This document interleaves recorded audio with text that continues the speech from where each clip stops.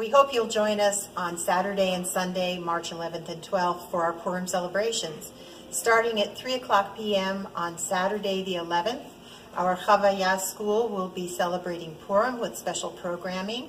Then at 4 o'clock, our young families, Shabbat B'Yachad, will come together to celebrate with activities for our younger congregants and their folks.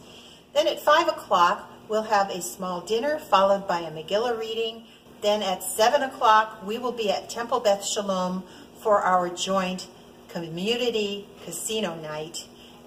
No cost except to bring your own bottle or beverage and a game to share, as well as something for the potluck.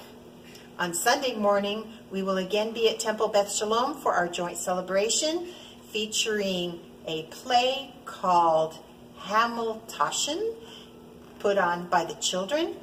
And at 9.45, we will celebrate with all kinds of games, carnival activities, and more. So don't miss Purim this year, combining with Temple Beth Sholom and Temple Beth Tikvah. Chag Sameach.